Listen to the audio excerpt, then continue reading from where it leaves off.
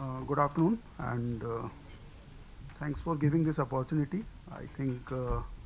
here what I'm going to share is my experience of last three decades uh, as a uh, practitioner, management practitioner and what I have observed or what I have uh, seen interacting with the academia on the sitting on the other side of the fence and now of late uh, I am also a research scholar so I am also now experiencing as a student that uh, how you go through it and uh, at the end of the day uh, the people those who are working in industry have all been the product of academia they all spend their beautiful years in the institutions and then they get groomed and then they are picked up by the industry. So industry and academia I don't think are two different uh, poles apart but yes this kind of synergies they need to build I think there that is why this kind of debates keep happening and I've been observing these debates uh, over last few decades. maybe my first exposure, uh, I will I'll share first two industry examples where uh, I have personally gained and personally experienced the uh, in, synergies between the institution and industry. So maybe in my very early career days when I joined Murugappa Group, I found this one beautiful building on the outskirts of Chennai called Institution Industry Interaction Center. And very well staffed, staffed and a GM level person is heading that. And I found quite a good. Uh, so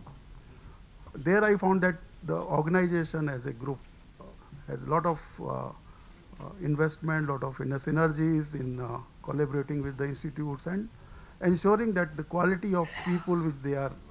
uh, taking from the institutes have some kind of inputs given in the early days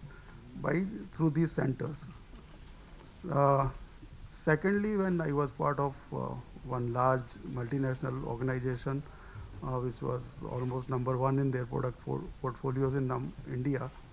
there also we found that we are struggling with the quality of engineering manpower, particularly technical manpower, where we have to face a lot of issues in terms of they don't have the kind of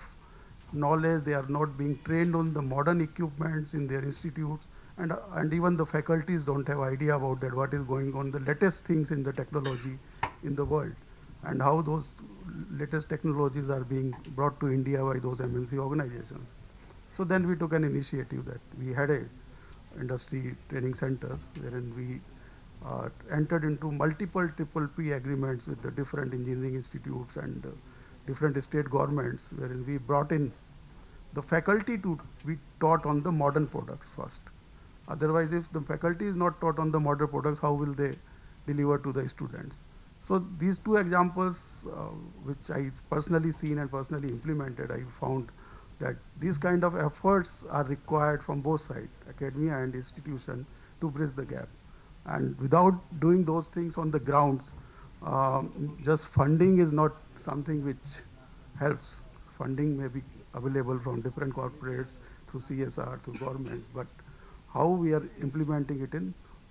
on the ground at the practical level. The other thing which uh,